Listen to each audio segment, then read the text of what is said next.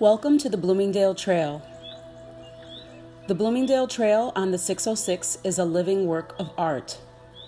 More than a park, a trail, and a community connector, it is a unique urban green space uniting nature, science, and culture.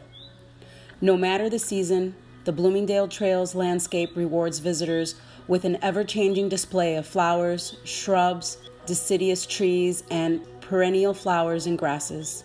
Plants, chosen for their seasonal interests, also attract and provide habitat for birds, bees, and butterflies.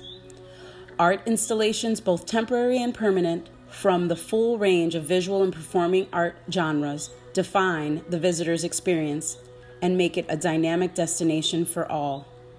The 606 runs along the Bloomingdale Trail for 2.7 miles between Ashland and Ridgeway, additionally featuring Walsh Park, Churchill Park, Julia de Burgos Park, Damen Arts Plaza, and the Exelon Observatory.